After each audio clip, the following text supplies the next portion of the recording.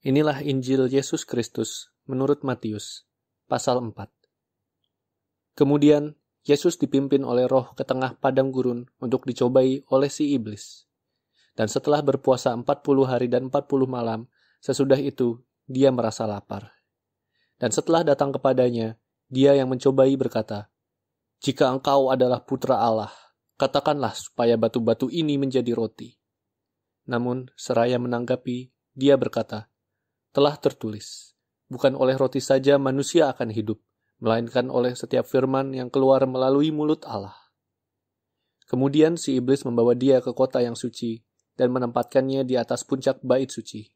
Dan dia berkata kepadanya, Jika engkau putra Allah, jatuhkanlah dirimu ke bawah, karena telah tertulis bahwa dia akan memerintahkan kepada para malaikatnya berkenaan dengan engkau, dan mereka akan menatang engkau di atas tangannya agar jangan engkau membenturkan kakimu pada batu.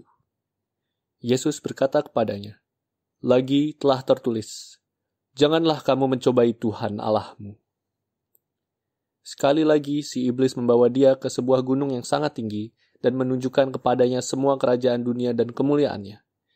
Dan dia berkata kepadanya, Aku akan memberikan semua ini kepadamu, jika engkau bersembah sujud kepadaku. Kemudian Yesus berkata kepadanya, Enyahlah, hai Satan, sebab telah tertulis, engkau harus menyembah Tuhan Allahmu, dan kepadanya sajalah engkau harus beribadah. Lalu si iblis meninggalkan dia, dan tampaklah para malaikat datang menghampiri dan melayani dia. Dan ketika mendengar bahwa Yohanes telah ditangkap, Yesus menyingkir ke Galilea. Dan setelah meninggalkan Nazaret, ketika tiba, dia tinggal di Kapernaum, di tepi danau, di wilayah Zebulon dan Naftali supaya dapat digenapi apa yang diucapkan oleh Nabi Yesaya yang berkata, Tanah Zebulon dan tanah Naftali, jalan danau, di seberang Yordan, Galilea, wilayah bangsa-bangsa. Bangsa yang duduk dalam kegelapan telah melihat terang yang besar, dan bagi mereka yang duduk di suatu negeri dan dalam bayang-bayang kematian, terang telah memancar atas mereka. Sejak saat itu, Yesus mulai berkhotbah dan berkata, Bertobatlah, karena kerajaan surga sudah mendekat. Dan selagi berjalan di tepi danau Galilea, Yesus melihat dua kakak beradik, Simon yang disebut Petrus dan Andreas saudaranya, sedang menebarkan jala ke danau karena mereka adalah nelayan.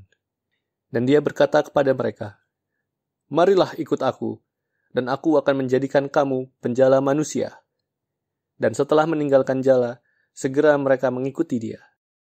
Dan setelah pergi dari sana, dia melihat dua saudara yang lain, Yakobus anak Zebedeus dan Yohanes saudaranya di dalam perahu bersama Zebedeus ayah mereka, sedang memperbaiki jalan mereka, dan dia memanggil mereka.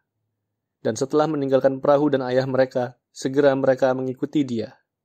Dan Yesus pergi berkeliling ke seluruh Galilea sambil mengajar di dalam sinagoga-sinagoga mereka, dan memberitakan Injil kerajaan dan menyembuhkan setiap penyakit, dan semua kelemahan tubuh di antara orang-orang itu dan kabar tentang dia telah menyebar sampai ke seluruh Syria.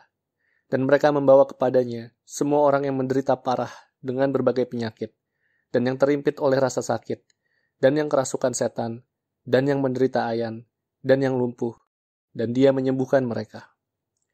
Dan kerumunan orang banyak dari Galilea dan Dekapolis dan Yerusalem dan Yudea dan dari seberang Yordan mengikuti dia.